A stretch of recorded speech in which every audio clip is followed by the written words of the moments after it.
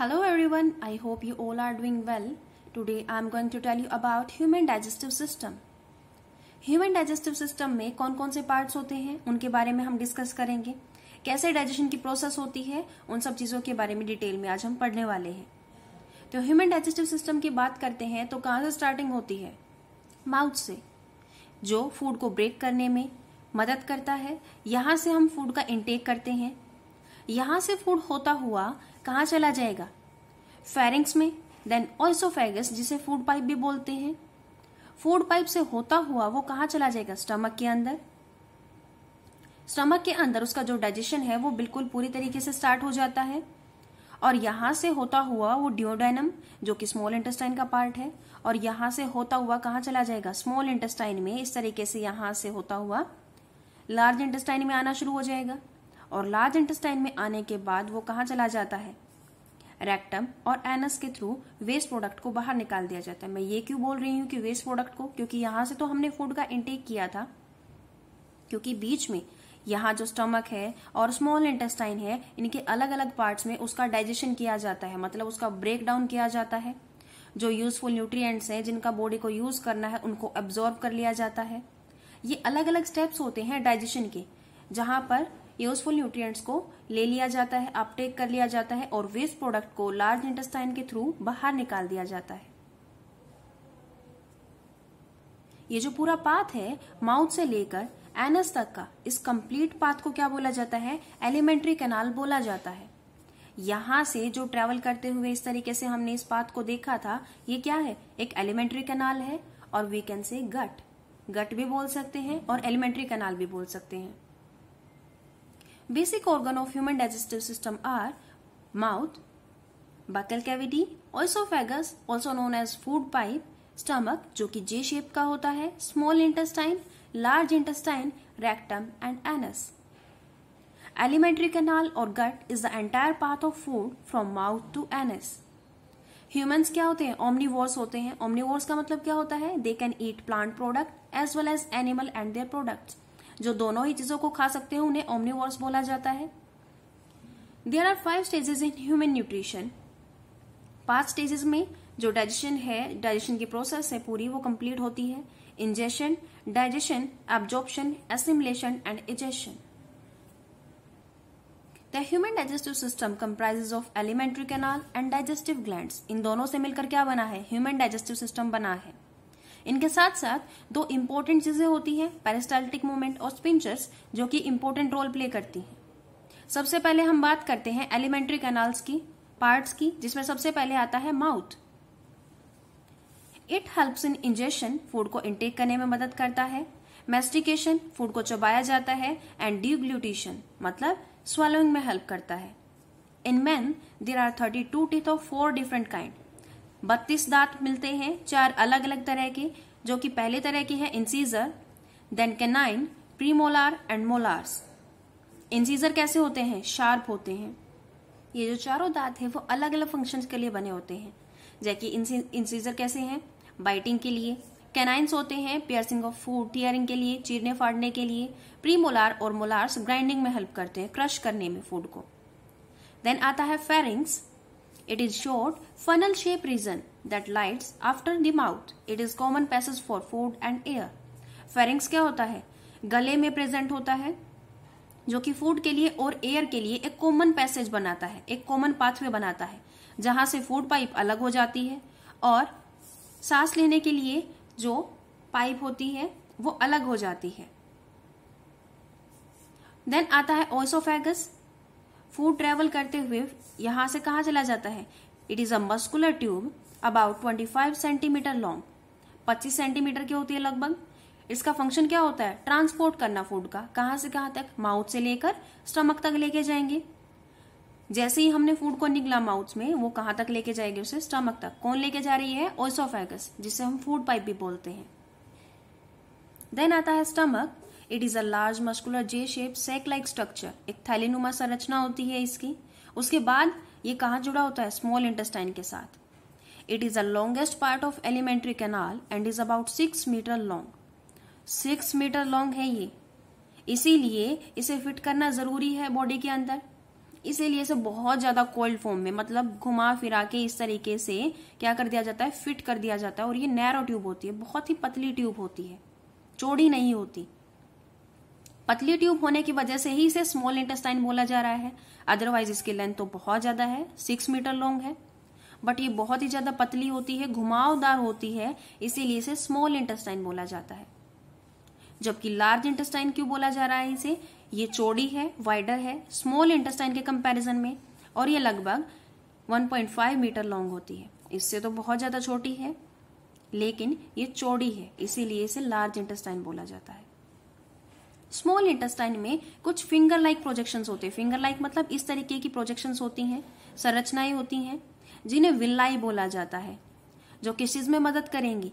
Small intestine में जैसे ही food आता है, उस फ़ूड को एब्जॉर्व करने में, उससे न्यूट्रिएंट्स को एब्जॉर्व करने में मदद करती हैं। उसके बाद लार्ज इंटेस्टाइन जुड़ी होती है रेक्टम के साथ, जो कि स्लाइटली डायलेटेड पार्ट होता है, इस तरीके से घुमावदार पार्ट होता है, जो कि टेम्परेरी स्टोरेज करता है फ़ूड की। जो यहाँ पर आ जाता है। यहाँ पर कौन सा आएगा फ़ूड का पार्ट जो वेस्ट होगा। और एनस क्या होता है? रेक्टम के साथ जुड़ा होता है और हेल्प करता है फीकल मेटेरियल को बॉडी से बाहर निकालने में।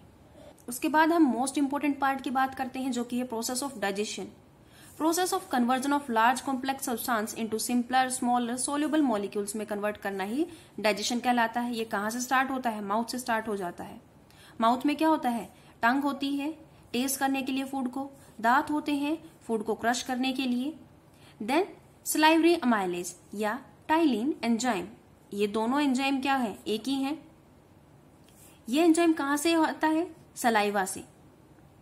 सलाइवा रिलीज़ होता है सलाइवरी ग्लैंड से। ये हमारे डाइजेस्टिव सिस्टम की सबसे पहली ग्लैंड है, जो माउथ में प्रेजेंट होती है बकल कैविटी वाले एरिया में प्रेजेंट होती है। इससे सलाइवा रिलीज़ होता है और उस सलाइवा में सलाइवरी अमाइलेज नाम का एंजाइम पाया जाता है, जो कन्वर्ट करता है स्टार्च को शुगर के अंदर। वहाँ पर कन्वर्जन होना स्टार्ट हो गया है। उसके बाद फ़ूड कहा जाता है ओइसोफेगस में।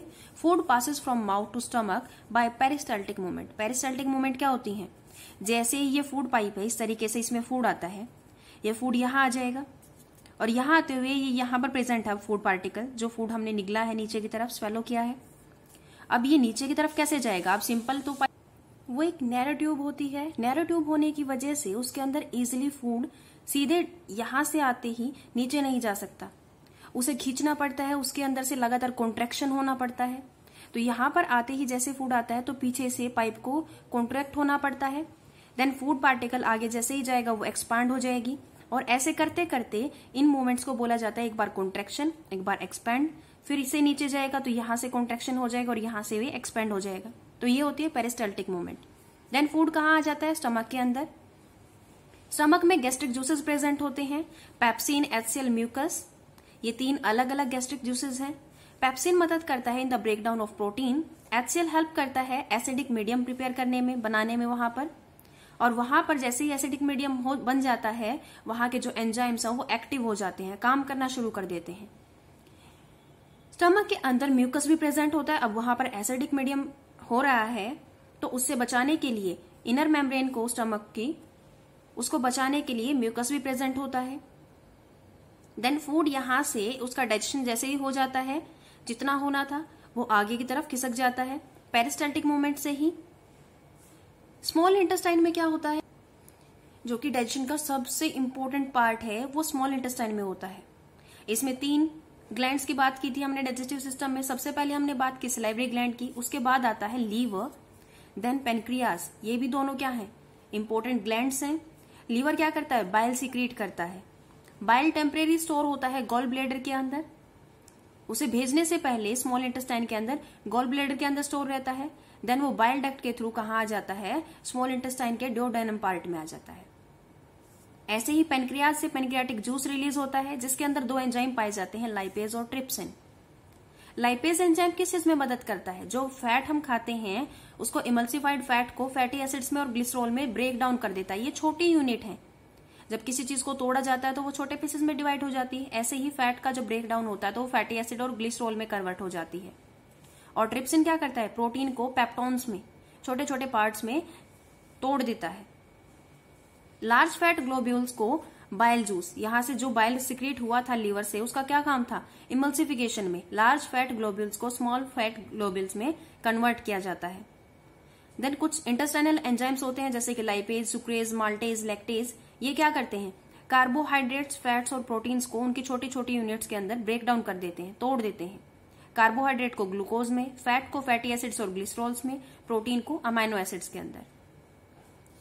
देन वो फ़ूड कहाँ चला जाता है? लार्ज इंटेस्टाइन उसे जाने से पहले इंटेस्टाइन में जितने भी ये सारी प्रोसेस हुई, जितने भी एंजाइम थे जैसे जैसे इनके ऊपर वर्क करते हैं, छोटे पीसेस में टूटते ही ये क्या होने शुरू हो जाते हैं? इनका एब्जॉर्प्शन स्टार्ट हो जाता है। स्मॉल इंटेस्टाइन में अभी हमने थोड़ी देर पहले पढ़ा था कि उसमें विलाई प्रेजेंट होती है फिंगर लाइक प्रोजेक्शन वो क्या करेंगी? इनका एब्जॉर्प्शन कर लेंगे, इनको ले लेंगी। देन लार्ज इंटेस्टाइन में जो वेस्ट चला जाता है आगे की तरफ़ उसमें से एक्स्ट्रा जो वाटर होता है एक्सेस वाटर होता है, उसको एब्जॉर्ब कर लिया जाता है। देन सोलिड वेस्ट को रेक्टम में पास ऑन कर दिया जाता है और जब भी अर्ज़ होती है एनएस के थ्रू इजेशन की प्रोसेस कंप्लीट हो जाती है, उस वेस्ट प्रोडक्ट को बाहर निकाल दिया जाता है। देन हमारे डाइजेस्टिव सिस्टम में स्पिंटर्स होते हैं। स्पिंटर्स किस चीज़ में हेल्प करते हैं? सर्कुलर मस्कुलर स्ट्रक्चर्स होते हैं जो कि कंट्रोल करते हैं movement of substance through them कैसे हेल्प करते हैं? Normally they remain close when movement is required then open they are many sphincters in gut जैसे कि अगर मैं डाइजेस्टिव सिस्टम की बात करूँ तो यहाँ से जैसे ही फ़ूड यहाँ की तरफ़ आता है स्टमक में आ जाता है। स्टमक में आने के बाद फ़ूड वापस क्यों नहीं जाता नॉर्मली यहीं पर डाइजेशन होता रहता है। पेरिस्टाल्टिक मूवमेंट हमेशा नीचे की तरफ़ ही क्यों होती है? क्योंकि यहाँ पर स्पिंटर्स प्रेजेंट होते हैं। स्पिंटर्स एक बार फ़ूड को नीचे आने के बाद वापस नहीं जाने देते। ऐसे ही स्टमक से जब आगे की तरफ़ डिओडेनम वाले पार्ट में यहाँ पर बाइल के एक्शन के लिए पेनक्रियाटिक जूस के एक्शन के लिए यहाँ पर भेज दिया जाता है जब फ़ूड को तो यहाँ पर भी स्पिंटर्स होते हैं जो फ़ूड को बैकफ्लो होने से रोक देते हैं। ऐसे ही एनस में भी और रेक्टम के पास भी क्या होते हैं? स्पिंटर्स प्रेजेंट होते हैं जो फ़ूड के बैक फ्लो के होने से रोकते हैं। तो ये था ह्यूमन डाइजेस्टिव सिस्टम के बारे में। आई होप आप लोगों को समझ में आया हो। थैंक यू सो मच अगर आप लोगों को ये वीडियो पसंद आती है देन प्लीज़ इस वीडियो को लाइक करना ना भूलें। Thank you